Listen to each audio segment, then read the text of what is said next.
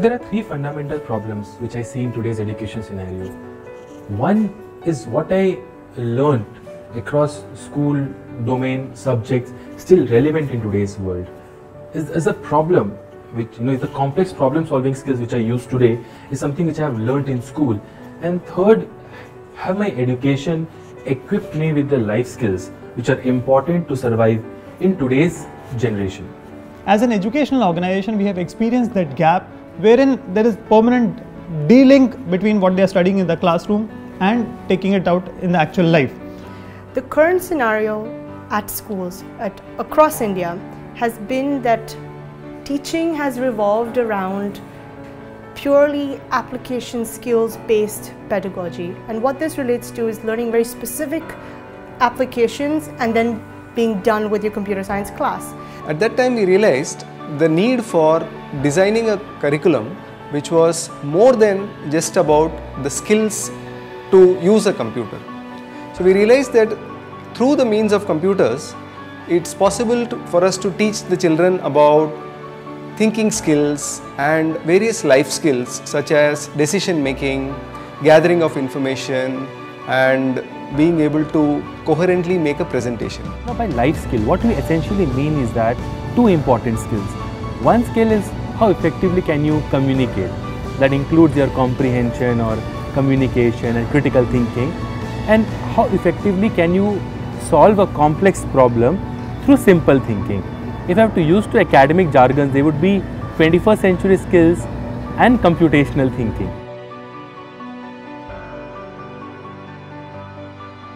If a student or say an adult, if they know how to write a letter properly, he or she will also end up writing a better email. Similarly, we also believe that say suppose if you're a journalist, right? And if you to write an article properly, you'll also end up writing a better blog. Just knowing how to operate a blog will not help. Microsoft PowerPoint is not presentation and presentation is not Microsoft PowerPoint. It's the way you articulate your thoughts, it's the way you gather information, it's the way you organize them.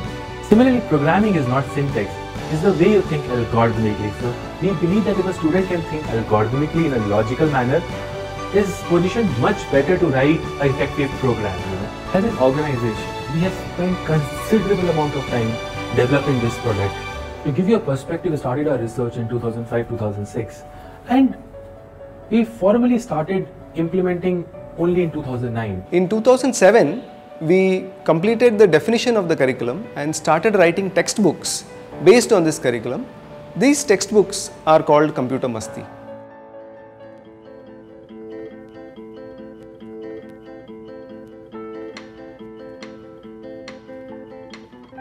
Computer Masti Masti in Hindi means fun.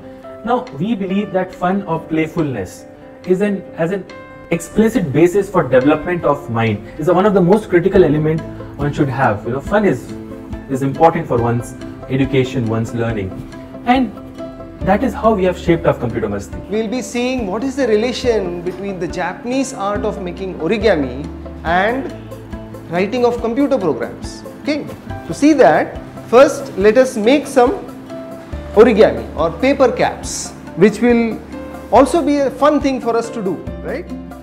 We spend a lot of time on this first most crucial step of planning. Each student is involved in putting down their thoughts, brainstorming, huddling up together in groups, creating mind maps to represent their thoughts. Following that, you do execute and impress. That's the Computer Masti way of using the spiral curriculum, integrating thinking skills in whatever you do. The idea is that the computer also can only follow very detailed stepwise instructions. Just like we followed stepwise instructions to make the cap, the computer is also able to follow the steps that you ask it to follow. Uh, when a school decides to partner with us in order to implement Computer Masti at their um, campuses, uh, what we do is we step in to provide support as well as resources. Um, and this takes the form of visits, whether it be um, in-person visits directly at their campus or in a remote session where we might connect with them over the internet. What it means is that the students are focusing on computer fluency and not on computer literacy. As per my experience, children are not only uh, using this thinking skills for their projects, uh, but slowly and gradually they're making a habit of it and the results can be seen into their uh, other subjects also. after Computer Masti came in, they are able to use the same applications with more clarity on them with, and with a sense of purpose on why they are using that particular application. And when we enter schools, we realize that you know they enjoy it. My experience as a teacher has taught me that students learn the best when the lesson is joyful and fun. And Computer Masti is one such program which actually exposed my children uh, to computers in a very joyful way. Looking at them smile and interact with the computer program using Computer Masti.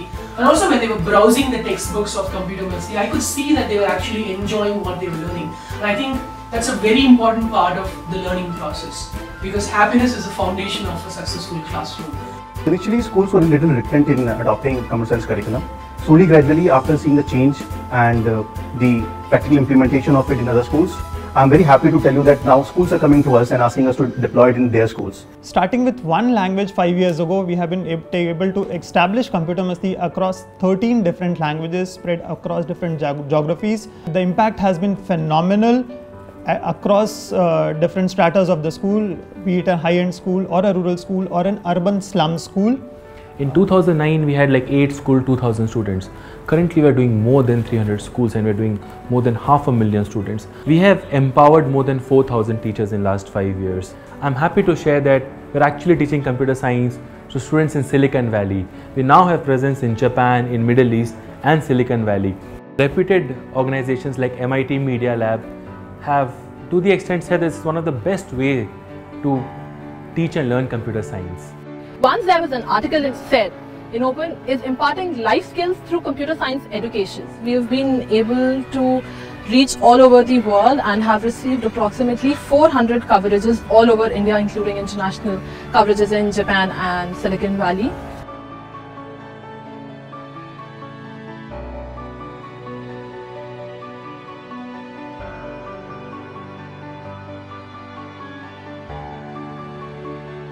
As a team, we are happy and proud to be a part of this phenomenal organization that's bringing about incredible changes and waves in the way computer science is being taught in the country and across the world. The enthusiasm of the students, overwhelming response of the teachers, the feedback from the parents, their involvement in Computer Masti, and the principal and the management of the school has been phenomenal. As an organization, that motivates us to reach to more and more uh, students across India and the world.